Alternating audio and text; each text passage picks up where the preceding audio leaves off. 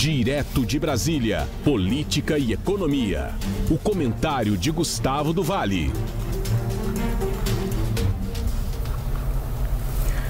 Em Brasília, vamos falar com o Gustavo do Vale, que traz a informação sobre a inflação divulgada ontem referente ao mês de junho. A inflação que teve aí uma queda de 0,21%. Olá, amigos.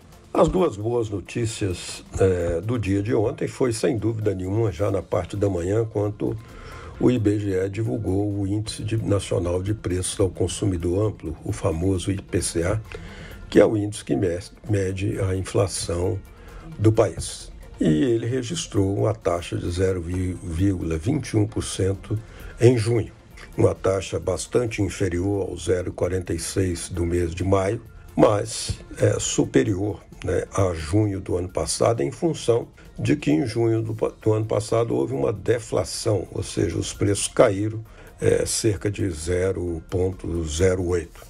Isso quer dizer que quando você mede a inflação nos últimos 12 meses, você soma a inflação do mês em curso e diminui a inflação de 12 meses atrás. Isso fez com que o índice de inflação dos 12 últimos meses fosse para 4,23, é, enquanto desse ano está em 2,48.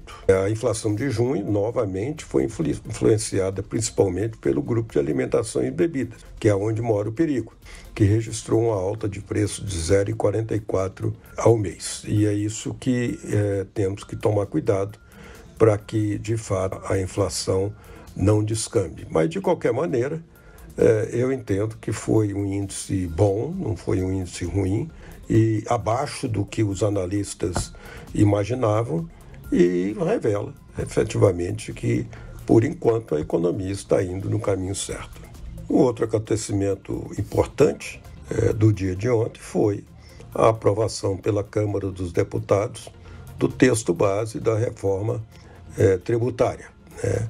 Claro que ainda é, os deputados ainda têm que voltar os destaques que aconteceram, né, que são as sugestões né, de, de, de, propostas de mudança é, ao preço. Mas eu acho que é importante demais essa aprovação, mesmo porque é, o placar foi de 336 votos a favor, 142 contra e duas é, abstenções. O que, que acontece agora? Acontece que os, os deputados vão abraçar agora os principais pontos dos destaques que tem que ser votado, para então poder é, ser remetida ao Senado Federal e aí é, ver se ainda esse ano essa reforma pode entrar em vigor.